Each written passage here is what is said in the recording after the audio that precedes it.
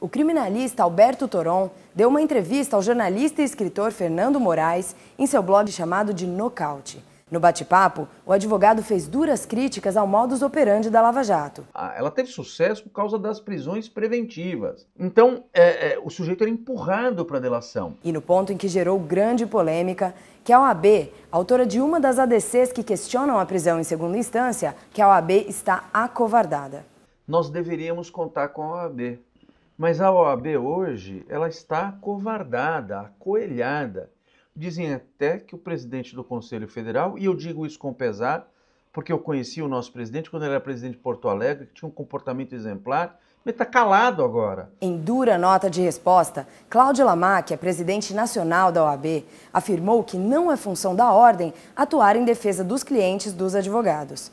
Disse que a ordem defende de forma intransigente o devido processo legal e ainda que a advocacia não é uma profissão para covardes e que a covardia está na postura de um advogado querer usar a OAB para defender suas causas pessoais e sua ideologia.